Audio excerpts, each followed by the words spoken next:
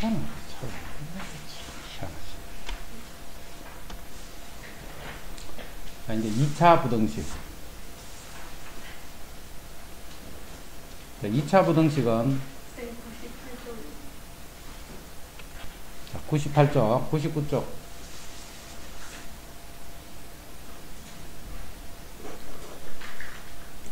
이런 연립 부등식 이런 거는 중학교 때 배운 거니까 다 된다 그지? 이런 거 다 마찬가지. 이건 중학교 1학년인가 뭐 2학년인가 하는 거. 다 됐고 이거는. 자, 그 다음 절대값 있는 거. 709번. 자, 절대값이 있는 식에서는 봐라. 요 식을 앞으로 볼 때, 서기는 요렇게 쓰졌지만, 보기는 요렇게 보는 게 좋아. 같은 말이니까, 그지? 3 빼기 1의 절대값이나 1 빼기 3의 절대값, 이건 같은 말이잖아. 그래서 요렇게 보, 요렇게 보면 나중에 또 계산해야 돼. 그래서 요렇게 하는 거다. 식을 볼 때. 그 다음에 절대값 뜻을 알아야 돼. 절대값 뜻을. 절대값이 무슨 의미인지를 이해를 해야 돼. 자, 절대값 x가 1이더라. 그럼 이 말은 무슨 말이냐면 수직선에서 원점으로부터 거리가 1이 되는 점 이런 뜻이요. 거리가 1이 되는 점은 여기도 있지만 여기도 있지. 그러니까 여기 있는 건 1이 되고 여기 있는 거는 마이너스. 그래서 요걸 풀면 x는 1도 있고 마이너스 1도 있고. 그치? 절대값 x가 1보다 크다고 했어. 자, 수직선에서 원점으로부터 거리가 1보다 커. 부등식이지. 부등식은 항상 방정식부터 풀어야 돼. 부등식을 푸는 것은 항상 방정식을 먼저 풀어줘야 돼. 그래서 여기에 1이 있고, 요게 는이잖아, 는. 그럼 거리가 1보다 크다는 말이잖아. 그럼 거리가 1보다 큰 거는 이쪽과 이쪽이 큰 거잖아. 이렇게. 그래서 이거는 x가 마이너스 1보다 작거나 x가 1보다 크다. 만약에 작다 있어, 작다. 그럼 작다면 요 안에 있는 게 작은 거죠. 그 작다 할 때는 x가 마이너스 1에서부터 1이다. 알겠지? 뜻을 잘 생각해. 그래서 이런 거풀때 뜻으로 풀면 그냥 안 외워도 되잖아. 이건 x 마이너스 6이 절대값이 3보다 작으니까 마이너스 3에서부터 3이다. 다르게 풀면 안 돼. 무조건 이렇게 풀어야 돼. x가 6보다 클 때 6보다 작을 이렇게 쓰지 말고 그래서 양변에 이제 6을 대버리면 x는 3에서부터 9가 된다. 자, 3x-2가 5가 되는 건 여기도 있고 여기도 있잖아. 그지? 그럼 먼 거는 여기하고 여기잖아. 요 값이 마이너스 5보다 작거나 3x-2가 5보다 크면 된다. 그래서 맞아 풀어야 된다. 이렇게. 마이너스 3이니까 마이너스 1보다 작거나. 넘어가면 7이지. 그럼 x는 3분의 7보다 크다. 그렇지. 그 다음 4번, 7, 11번 한다. 자, 11번 같은 경우는 요게 숫자가 아니잖아. 그지? 그 요때는 이제 이거를 풀어줘야 돼, 식을. 그래서 이제 11번은 x가 1보다 클 때랑 x가 1보다 작을 때로 분리해서 풀어줘야 돼.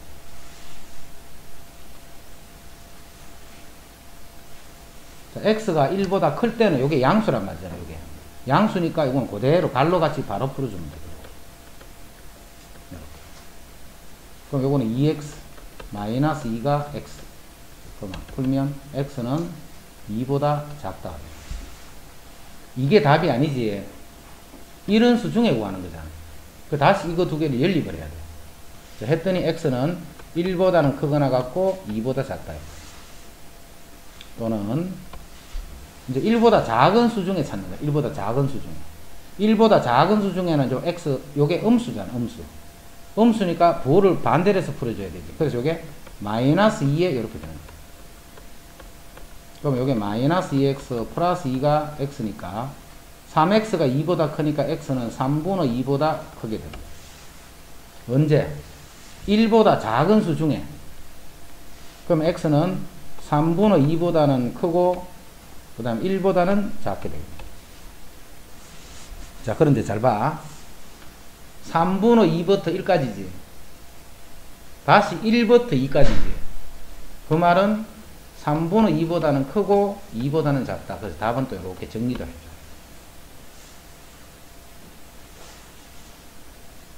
잘 됐나?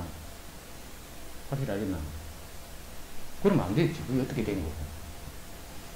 자, 다시 봐. 요거 0 되는 게 1이잖아, 1. 요게 0 되는 게 1이잖아, 그지? 그럼 1보다 클 때랑 1보다 작을 때, 1보다 크면 요건 양수고, 1보다 작으면 요건 음수잖아. 그래서 일단 요거를 요렇게 가를 줄 알아야 돼. 자, 1보다 크면 예를 2 같은 거 치면 양수잖아. 양수니까 절대값이 아니고 갈로라 생각하면 되잖아. 그래서 그냥 그대로 푸는 거야, 이렇게. 요걸로 푸니까 x 2보다 작아.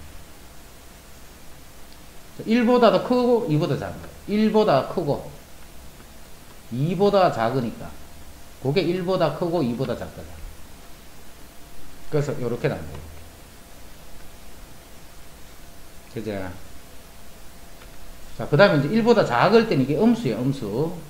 음수는 그냥 갈로를 푸는 게 아니고 마이너스가 되는 거예요. 그지? 그래서 이게 마이너스 2x 마이너스 1. 그래서 요거 푸니까 그게 x가 3분의 2보다 크다니.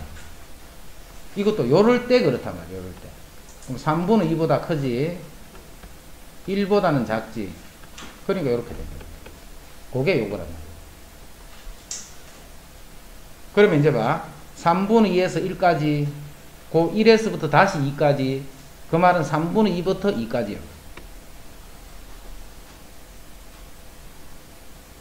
됐죠? 이제는 부등식인데 절대값이 두 개가 붙어 있어. 부등식인데 절대값이 두 개 붙어 있어. 이것도 안 되는 사람은 진짜 안 돼. 안 되는 사람은. 자, 먼저 절대값이 이렇게 두 개가 있으면 아까 한 개 있을 때는 1을 기준으로 클 때와 작을 때 이렇게만 갈라보면 되는데 이거는 여기도 0 되는 게 있고 여기도 0 되는 게 있지. 자, 그래서 0이 되는 게 마이너스 1이 있고 여기 5가 있는 거예요. 하나만 있을 때 이거보다 클 때 작을 때 이렇게 해버리면 되는데 이거보다 작을 때 이거보다는 큰데 이거보다 작을 때 이거보다 클 때 그래서 세 가지로 갈라줘야 돼. x가 마이너스 1보다 작을 때 x가 마이너스 1에서 5보다 클 때. 그다음 세 번째. x가 5보다 클 때. 자, 여기에 어떨 때 등호가 붙고 안 붙고 막 이렇게 되지. 등호가 붙고 안 붙고 이렇게 막 바뀌지. 자, 그거는 뭐라, 뭐 어떻게 생각하면 되느냐 하면 등호를 여기하고 여기 붙어 있는데 그거는 어디 붙은 거냐면 읽을 때 크다 쪽으로 있는 거를 쪽에 붙이다 생각합니다. x 읽어봐. x는 5보다 크다 이랬지. 그 크다 쪽에 붙이는 거야. 여기서는 봐. x가 5보다 작다잖아. 그 여기 안 붙이고 여기 붙이는 거야. x가 마이너스 1보다는 크다지. 그래서 여기 붙인 거야. 여기 안 붙이고.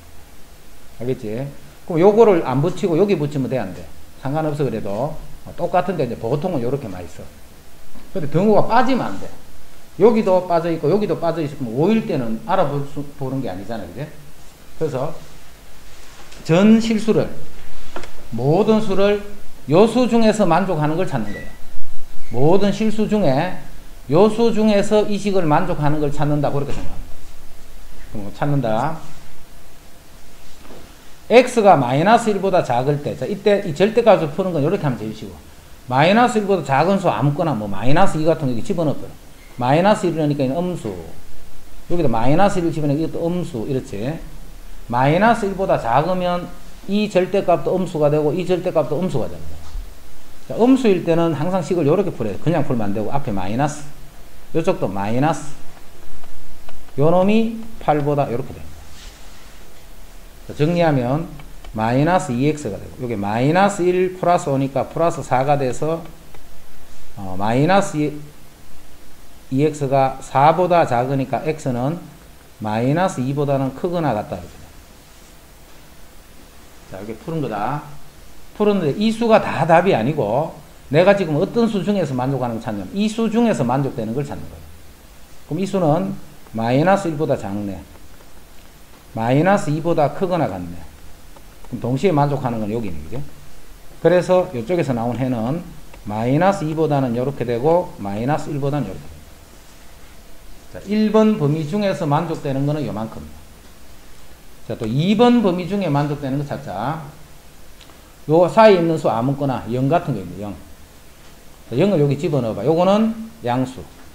요거는 그대로 음수. 자, 양수는 그대로 풀면 돼 이렇게 양수는 그대로 풀면 되고 요게 음수일 때는 항상 그대로 푸는 게 아니고 마이너스 갈로로 풉니다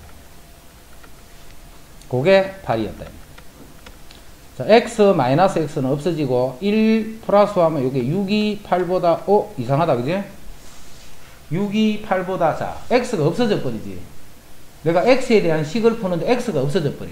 그 말이 무슨 말이냐면 요 범위에서는 x 값하고 관계없이 이 식은 성립하는 식이잖아. 그지? 성립한다 이 말이야. 요 범위에 있는 수일 때는 x하고 아무 관계가 없어. 무조건 성립한다. 만약 부동호 반대로 돼 있어. 만족하는 게 없다 이 말이야. 그럼 두 번째에서는 해가 뭐야? x는 마이너스 1에서 5까지는 다 답이 된다는 말이야. 잘 이해돼? 요렇게 나오면 어 x가 어디 갔지? 막 이상하게 생각하지 말고 x가 없어졌다는 말은 x 값하고는 아무 관계 없는 거야. 관계없이 성립하잖아. 그지? 언제? 요럴 때. 그래서 요런 수는 모든 x들이 다 답이 됩니다.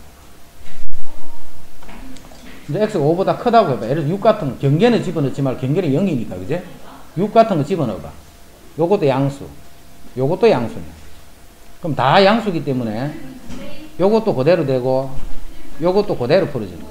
자, 그게 8이 됐다. 그럼 2x가 12가 돼서 x는 6보다 이렇게 합니다. 자, 5보다 큰 수 중에 6보다 작은 수가 되니까 요 범위지. 그래서 요 범위에 해당하는 x는 5부터 6까지만 요식을 만들어. 이해되지? 그럼 요렇게 되거나 또는 또는 이 말이잖아. 자, 여기서 답을 잘 봐, 이제. 마이너스 2에서 마이너스 1인데 또 마이너스 1에서 5까지는 요거는 연결되죠, 이렇게. 마이너스 1에서 5인데 또 5에서 6까지는 5도 연결되죠, 이렇게. 그럼 결국 x는 마이너스 요거부터 저 끝에 있는 6까지. 하잉 이렇게 연결되는 거 이해되나? 됐지?